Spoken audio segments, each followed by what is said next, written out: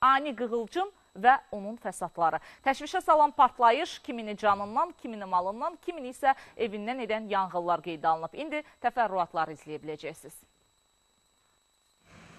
Bərdənin Nüşabə küçəsində Elbrus Şadlinskaya məxsus fərdi evdə yanğın baş verib. Evin birinci mərtəbəsindən başlayan alov 8 otağı bürüyüb. Evdəkilər yuxuda olduğundan hadisədən geç xəbər tutublar. Yanğının baş verdiyi otaqda olan 76 yaşlı Sülhiyə Şadlinskaya dünyasını dəyişib. Ev sahibi Elbrus Şadlinski isə xəsarət alıb. Ümumi sahəsi 240 kvadrat metr olan evin 192 kvadrat metri içərisindəki əşyalarla birlikdə yararsız hala düşüb. Əraziyə Fövqəladə Hallar Nazirliyinin yanğın söndürənləri cəlb ediliblər. Alovun qarşısı alınıb. Yaxınlıqdakı yardımçı bina və həyətyanı sahədəki avtomobil alovdan mühafizə olunub. Hadisəyə evin birinci mərtəbəsində içərisinə qaz borusu quraşdırılan odun sobasının səbəb olduğu deyilir. Paytaxtın Binəqədi rayonu Abay Kumanbayev küçəsində yerləşən 5 mərtəbəli yaşayış binasında partlayış olub.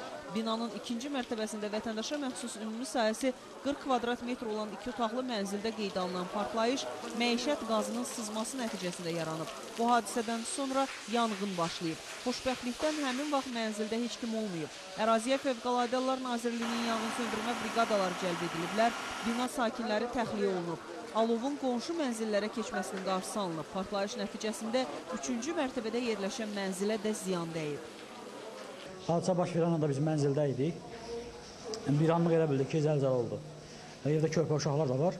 Mən tez eyvandan çıxdım, aşağı mərtəbəyə baxdım. Məlum oldu ki, ikinci mərtəbədə qaz sızmasından partlayış baş verib.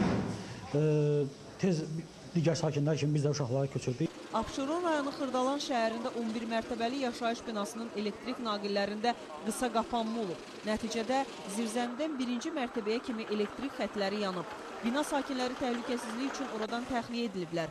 Əraziyə çağırılan təcili tibbi yardım briqadaları tüstüdən zəhərlənmə əlamətləri olan insanlara ilkin tibbi yardım göstəriblər.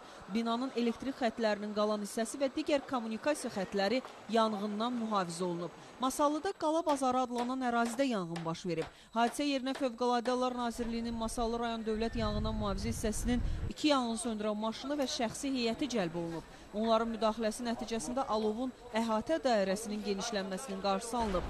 Xəsarət alan olmasa da 3 dükan içərisindəki əşyalarla birlikdə yararsız vəziyyətə düşüb. Sahibkarlara ümumilikdə 4000 manat dəyərində maddi ziyan dəyib, faktlar araşdırılır.